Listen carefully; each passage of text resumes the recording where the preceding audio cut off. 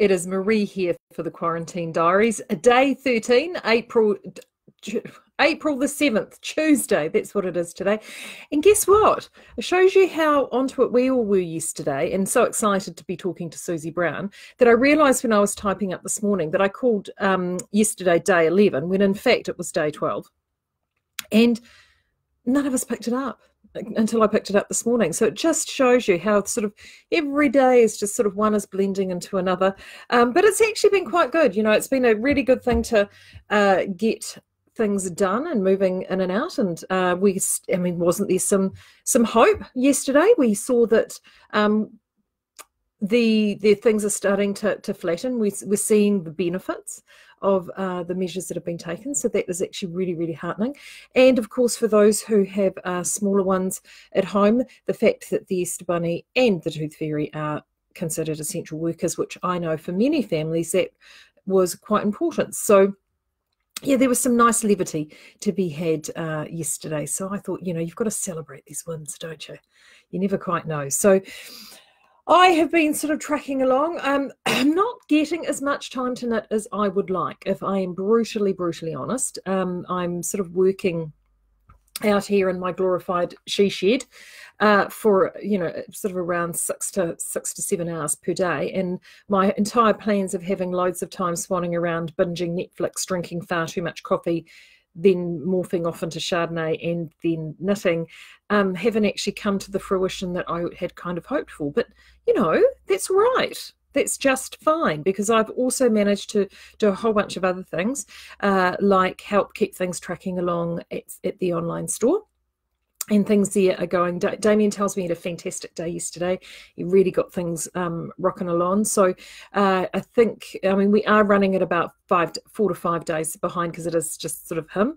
Uh, but it's it's okay. It's things that he, he said he, he felt like he was starting to catch up yesterday. So uh, if you are waiting for orders, just be patient. And also, too, then are now a number of other businesses uh, who have got that permission to trade, and they are also trading. So which is really really great to see. Great to see that um, that those supplies are getting out there to those that need them, just to keep us, you know, keep our heads straight on when or our heads straight you know, while we're all feeling a bit at this time.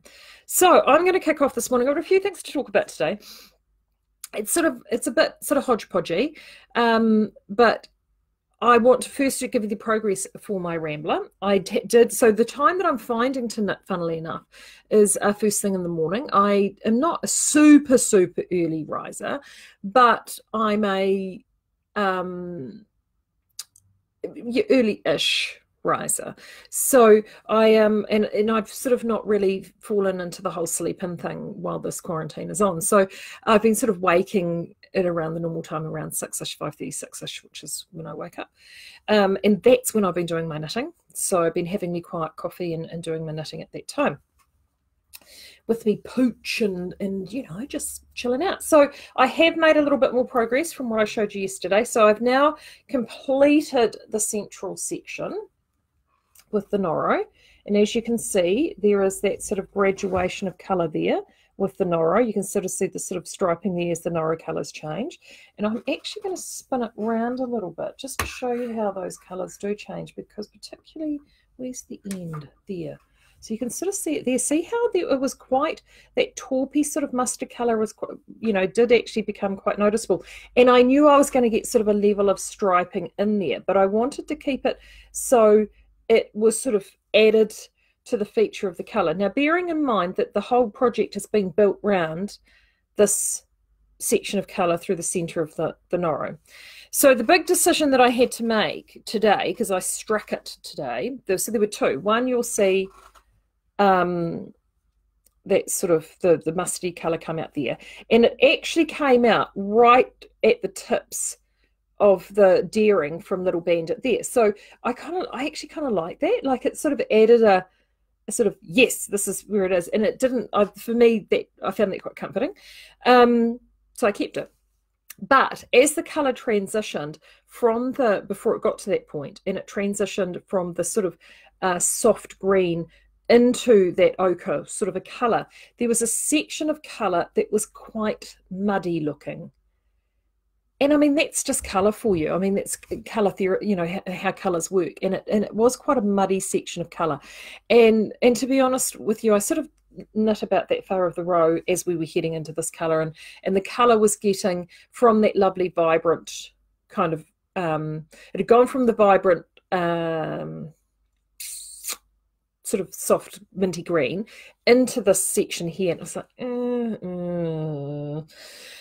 so tinked it back, and then got got my ball out, and then started whipping ripping out this part until the ochre started to, to become a little bit more prominent, like the ochre of the deering. And that's when I sort of stopped and then rejoined the two together. Now, if you think, geez, geez, Louise, why are you doing that? Um, you know, with the yarn, it's so precious. I'm not panicked about that. I'll tell you why in a second. Um, but the nice thing about Noro, when I find the end of this, when I find the end, there it is. So Noro is actually um, it is actually subtly a twofold twist. It's woolen spun, which I explained, but see, there you go. See if I'm pulling there? See that? It is a twofold twist, which helps with its strength, but it is not super, super strong. All right? But when it comes to doing wheat or felted joining, peas and carrots, really easy. So actually ripping it, rejoining it, uh, it's completely invisible. You'd, you'd never see. And the color graduations are thus in Noro that they are sort of these kind of really fluid sort of color changes that because I've actually watched the section out, but I did keep some of the ochre there, it actually, it, you you know you're, you're not going to notice it. It's not going to be something that's completely noticeable, but it took that muddy section out. So that was yesterday. And then today, as I was continuing on, so I'm just going to flick around and show you the floats at the back because you can see this more at the back. So as you can see, these are my floats. Actually quite proud of these, Ethan. They're not bad for me. Um, and then you can see the section there, obviously, where I'm just working row straight. And there's the front there again. Um, then this morning, as I was heading, so I'm now back to two colour, again back with my deering. Um, I then came into this section which is the one I talked about the other day that I just wasn't too sure. I was, I think it was the Saturday week ago when I was talking with Ethan. I wasn't too sure whether or not I'd keep this section in. And you can see, so I was working away and I got to it there. And I could see it was starting to darken off. And I thought, mm, yeah, yeah. no so I've pulled that out. So I was in the blue section, started going to blue black. I sort of had a few sort of half a dozen stitches in blue black. And then what I'd done is I'd pulled that out. And when it went from blue black, it then moved from to black. Oh, make sure I'm just trying to do this because every time I pick this up, the needles. Oh, no, no, I've done it. I'm just going to hold this very careful because all the needles have popped off. Then it popped off to this turquoise and turquoise black and I felt it joined there. And I am just going to do this before all my stitches go west and all my floats go west. And before some little bright spark puts up in there and goes, Marie, you should put a needle protector on the end of that. I know.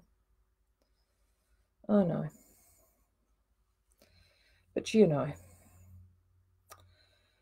I'm not as organised as I'd like to think that I am. Right, there we go. Now, I have to also say welcome. There are a lot of new viewers that we've not had here before. Um, I noticed that particularly over on YouTube. Um, our grower num- our viewer numbers are growing quite significantly. Um, so thank you for everyone that's joined and subscribed over there, and also thank you to everyone that is tuning in across on this side as well, whether it be here in regular Skeinz Facebook Live or you're a member of the Speakeasy and you've just joined that as well. Um, so great to have you, and and that I can help distract you for a little bit each day. Um, many of you are in the US or places far flung, so welcome to you guys, because um, I guess this is sort of afternoon for many of you. Uh, yes, yeah, so that's where I'm at with the Rambla. Um, so it's really nice to have you on board, and even if I entertain you just with my crazy accent for half an hour. That's just fine. Uh, now, back to these two scrappy pieces here. These are not being thrown away because once I get through and complete that project, I am I know because I'm now just at the second half, I'm still going to have a significant amount of this left. The rate I'm going, I'm going to be able to do a cowl and a hat, uh, which I might very well do. But I've held on to these because, like, particularly if I'm going to do a hat, and again, I am the world's worst. I know because I don't put patterns in the things because I make things, I make shit up as I go along, right? I can't help myself. Um, so I'll probably do a hat that I'll make up um, because I just make stuff up. Uh, and see that black section there with all that black with the South Southlander Sport. See, don't those two, aren't these, aren't they happy? They're happy together. So this is perfect to so like so so for example to actually alternate or even double strand it to be perfectly honest in the ribbing to get a nice firm ribbing. Um, but putting those guys together i think in the ribbing section would look actually incredible really really good nice focal point. And then i will probably end up doing something because i know that i'm going to end up with this left over as well um, with that. And then see look at that.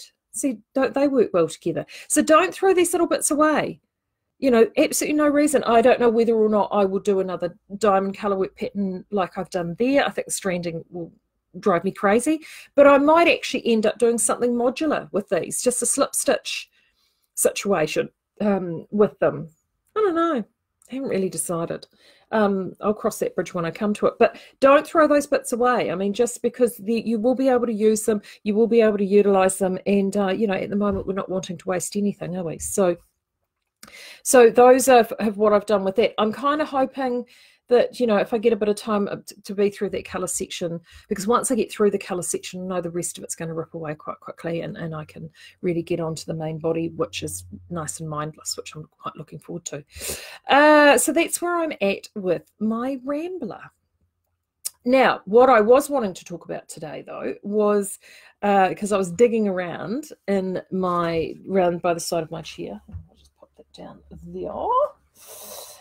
And one of the things that um, I was thinking about the other day was we were talking about, Ethan and I were talking about just um, all the different things we do. And we have things like um, Ravelry, which we use all the time. And sometimes it's nice to reflect back and look at books and magazines and different things that we've had. Now, if you're somebody like me, uh, who is always making stuff up, and I have a tendency to make these things up, um, and generally Chardonnay is involved. So I have often joked that I do designs by Chardonnay, and so I got to what I will do though, in my defense, is I will actually scratch down some rudimentary notes about where I'm at and what I'm doing. Now, I know at the beginning of the year in the speakeasy, I saw, and I, this year and last year, a number of you were talking about starting project diaries. So, an actual physical project diary. So, Ravelry is a digital project diary. You can pop all your notes there and people can share, and you can, and I mean, let's face it, as a resource, Ravelry is fantastic and we all use it and love it. But sometimes it's actually nice to have something a little bit more tactile and uh, to hand. And I have seen, so if any of you have done this, because I know, I'm sure someone, I've got a sneaking suspicion, I don't know whether it's you, Jeanette, or Dell, someone is, is doing this, are doing these project diaries. And they create, have a notebook, something similar to this. And you're writing down notes of what the project is, where the pattern is, who it's by, um, if it's available on Ravelry, and you're then also attaching or stapling to it samples of the yarns that you might use. So then that way you've sort of got a record of what you're doing. Now I have seen at Knit August Nights, and I'm really sorry um, because the name, your name has just gone, but at Knit August Nights last year, I think it was, or it may have been the year before, I had a trader just in on the Sunday, and they'd created these incredible little message cards, um, printed cards that was sort of pretty much for almost exactly that purpose. So they were a way of logging. Uh, you'd put a little tuft of yarn around the card, and then you would actually put on the card notes of what you knitted in that yarn, how much you used, where it was possibly stored, and, and what have you. And and then it could have, and it was indexable. You could sort of have it a bit like an index system. It was really, really clever. Um, but I did start, now I started this a long, long time ago. And actually the very first pattern that's on here is a shrug that I knitted for a wee lassie. Now, when I knitted this for this girl, I think she was two or three years old. She's now at high school, so it shows you how how old that's been. Um, and so I did spend a lot of time, I'd completely forgotten. I had actually started this in writing stuff down, but I do actually still use it because every now and then someone will ask me to make something like my dad needed a vest, you know, so I'll write down measurements, um, I'll put people's measurements in here. I'll put down a basic idea for something. Project Runway, this is not people. It's me. But I know what I'm doing. Um, actually, the poncho that I'm, see, the poncho that I've now knitted three times that I've shown you with Stephen, that's my notes there. Trust me, Ethan, that's probably as good as you're going to get when I finally give this to you to write up for me. Um, look, here you go with more notes. Complete with when I knocked it over and took my red wine on the um, the page. You know, I'm just classy. Class act, me. Class act. But these diaries are really, really useful really useful. And uh, and so i do yes from time to time i do still do it. Now if i'm entirely entirely honest what i do do more hand, more though is i am a prolific list maker. So any of those who've worked with me whether it be at KAN or at Skeinz um, knows this about me. And i have always got uh, one of these diaries. This is a KAN one that i have here. I've got a little unwind one. I've had for a couple of years at work, and I am forever making. So there you go. There's today's show. Um, I am forever making lists. So that is that's me and so i'm always writing stuff down and i keep these little notebooks because i'm always jotting stuff down and i can go back and refer to them and it's not that i don't use digital things to record stuff. I do. Uh, I just find that sometimes I like I'm like going old school. I like having a pencil, and I just like writing the tact, tactile nature of writing stuff down. Call me crazy, but it's me. Uh, so, then, but then I'm just going to jump down here and just make see how. We, oh gosh, everyone's here this morning. Morning, guys! Wow. Um, Thank you, uh, Eleanor. She's saying that I look stunning in the autumn colours. Can I tell you a quick thing about this before we get going? I had a phone call with my cousin this morning.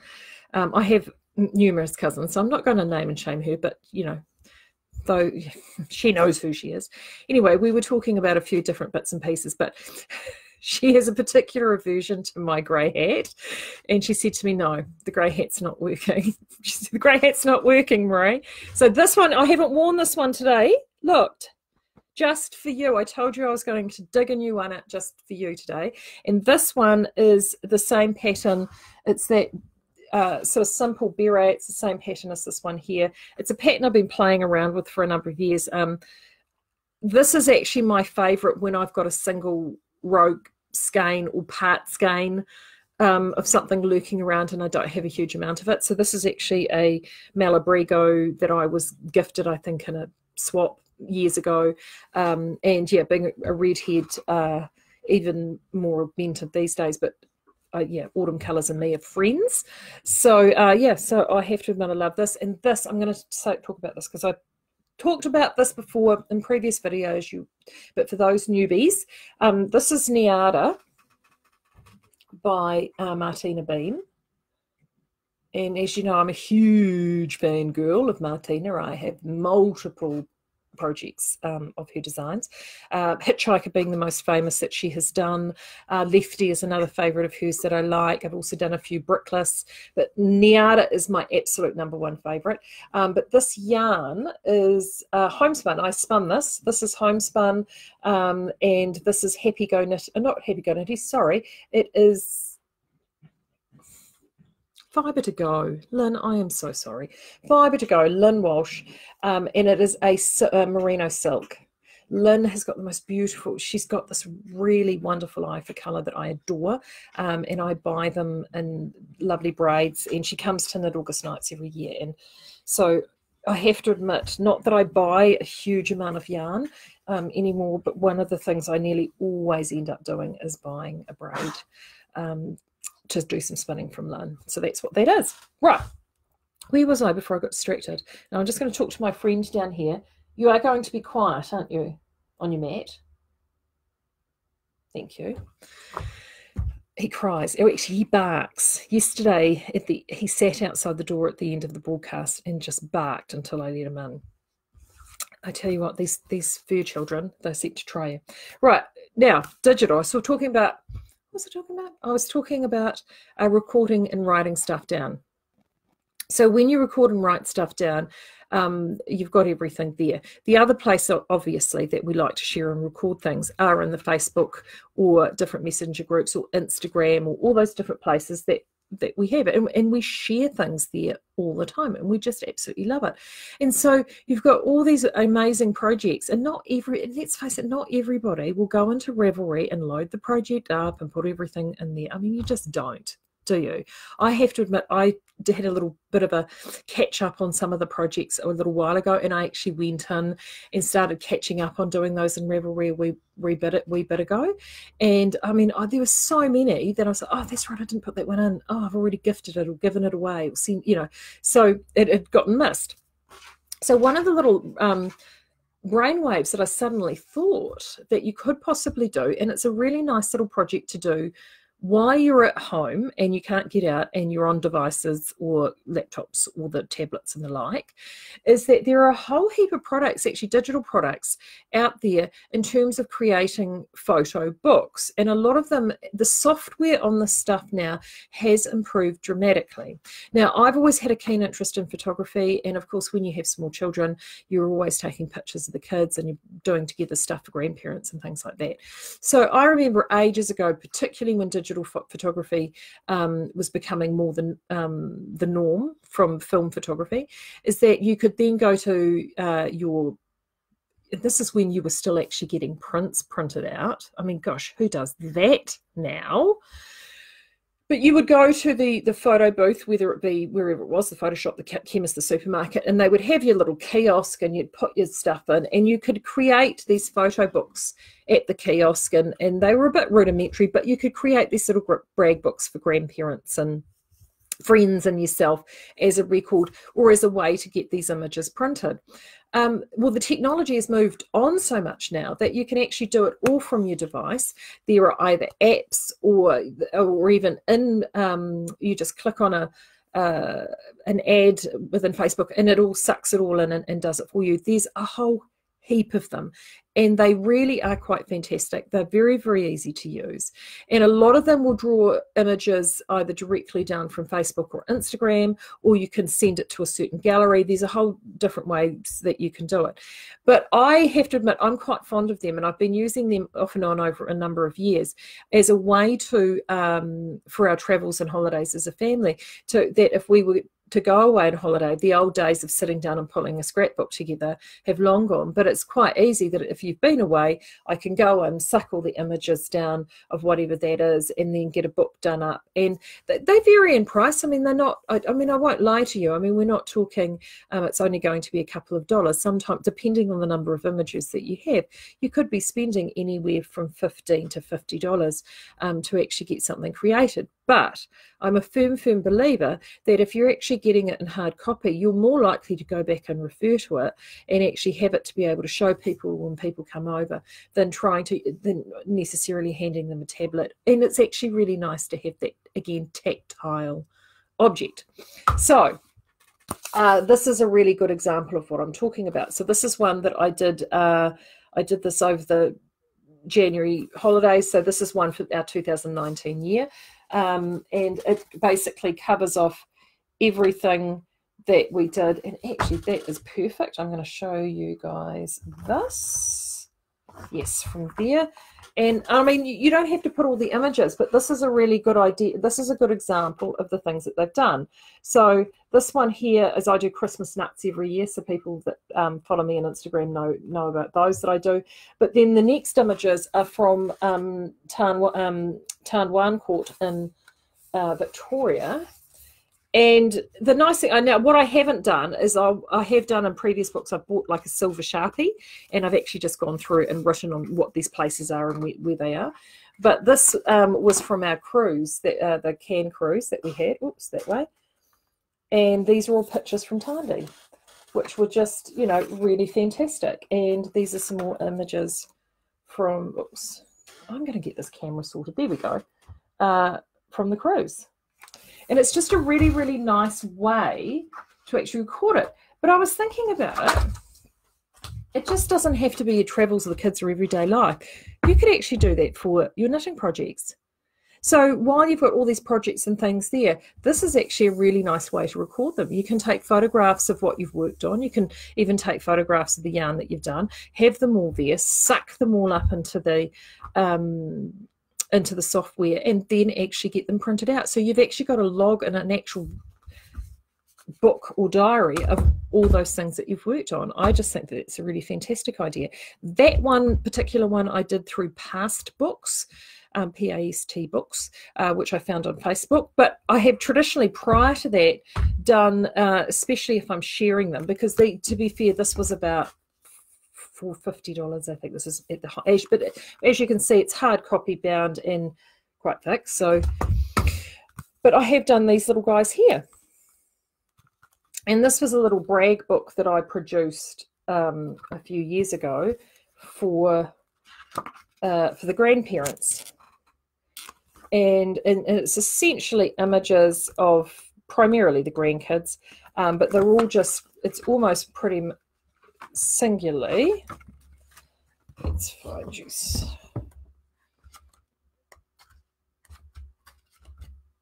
There we go, that's a good one. So it's just, and, and, these ones have all been drawn down from Instagram. So these are all from my um, Instagram profile. And this one I did on Vistaprint. Um, and I quite like it because it's square, it's little, it's you know easy to keep a track of. Um, but it's just and, and actually this was surprisingly inexpensive to do. So that was vistaprint. Um, but i also note that warehouse, uh, warehouse stationery also have an app online that you can get and you can make books like that.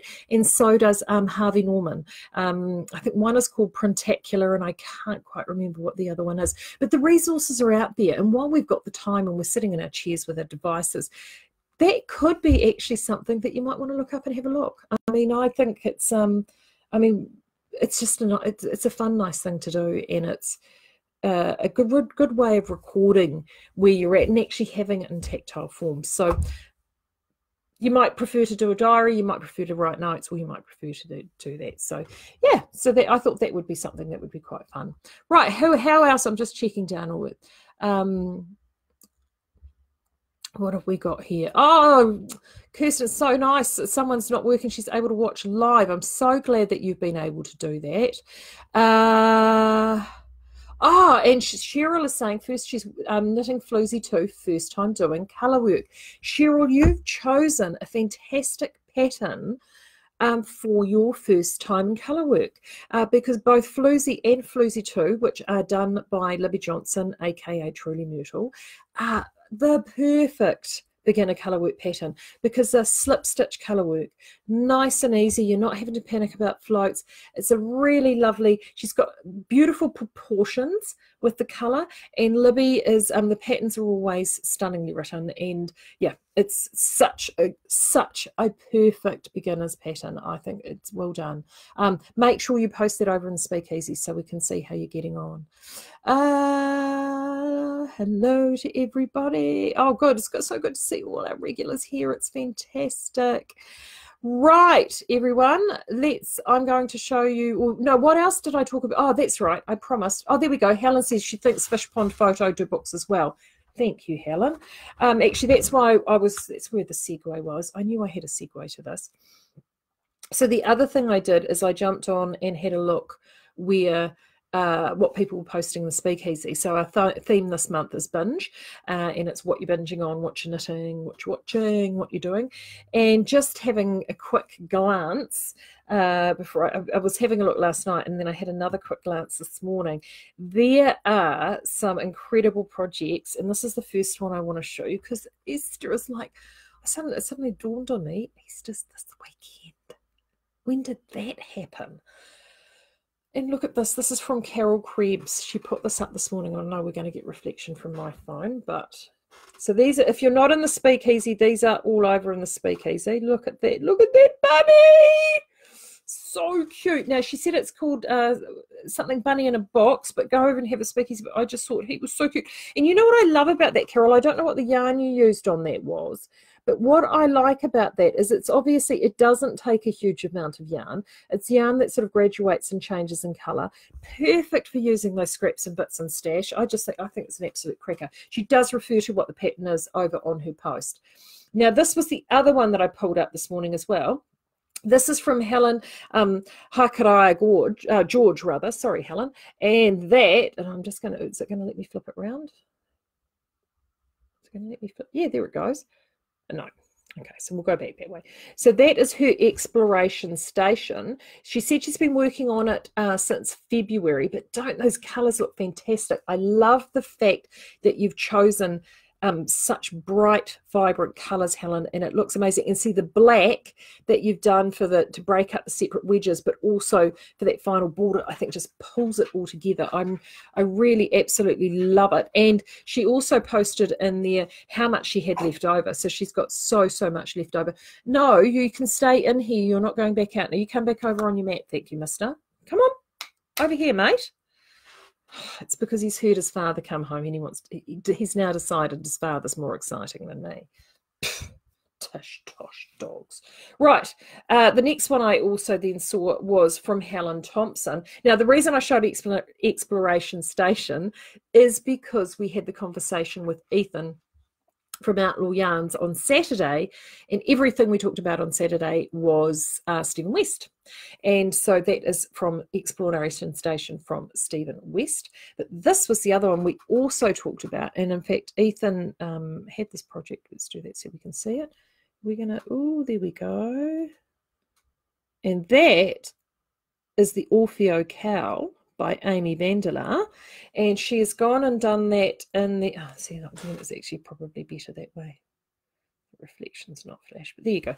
Um, now that is done in the. It's the Outlaw Bohemia Sport. I think the colour is in. Char- oh no, it could be London Town. Actually, that dark colour, isn't it? London Town, and the orange is actually, and I remember this. That orange is one that we had. It's a twist on twist, same construction as of Orb you were lucky to get that you were.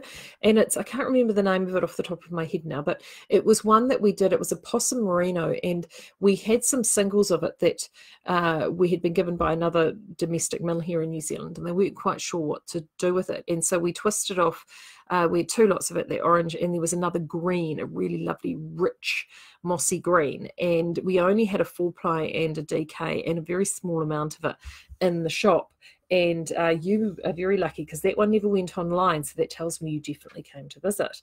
Um, and it was just absolutely gorgeous. But that cowl i just love that cowl because it works so fantastically well with those contrasting colors and also she posted a second one of those as well just showing different colors and what you can do.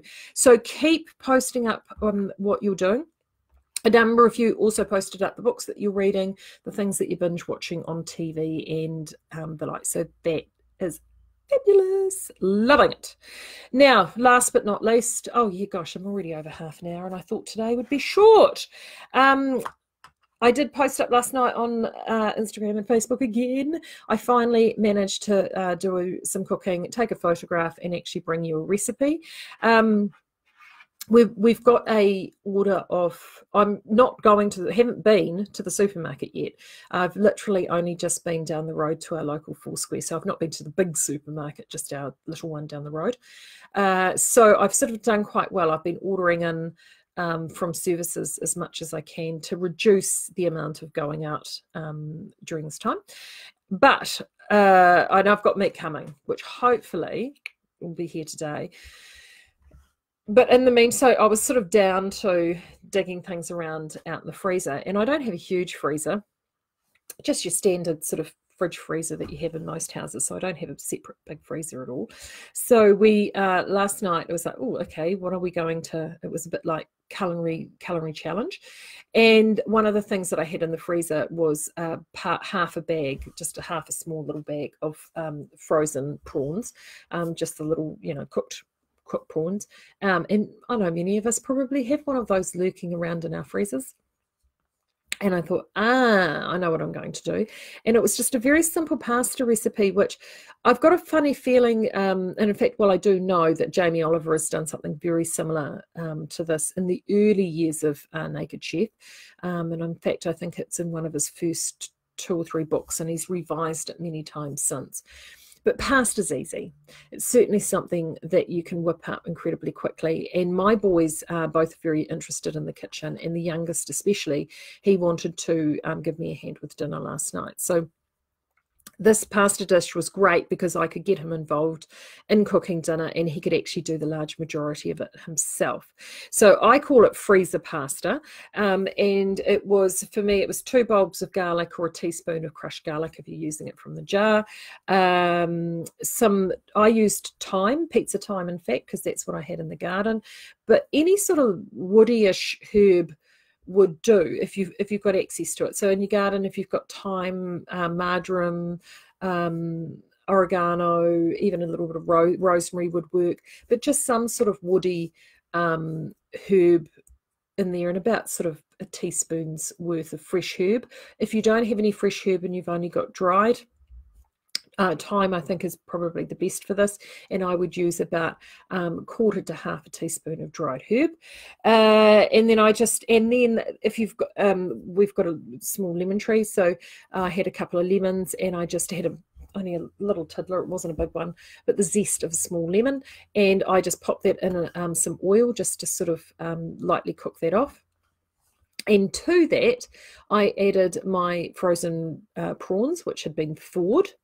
And I think in all told, the little half bag ended up being about one and a half, but not quite two cups of prawns.